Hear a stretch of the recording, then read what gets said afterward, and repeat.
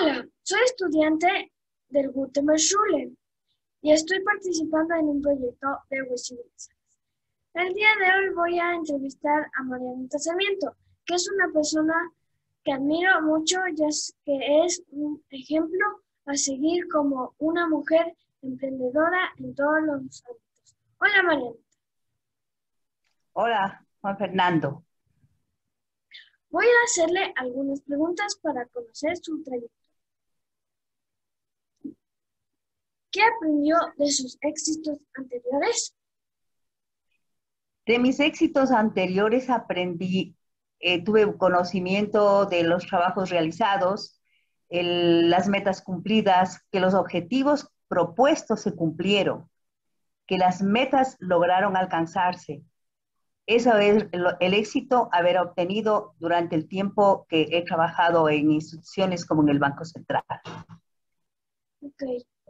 ¿Puede identificar algunos logros significativos que destaquen su talento y habilidades? Sí, los logros obtenidos es la experiencia, el conocimiento y la tolerancia en muchas cosas que uno maneja.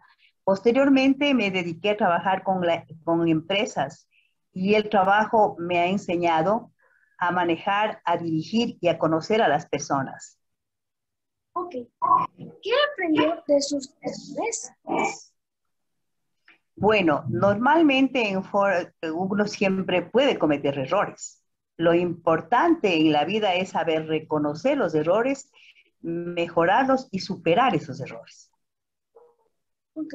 ¿Qué decisiones o circunstancias cambia de tener otra oportunidad?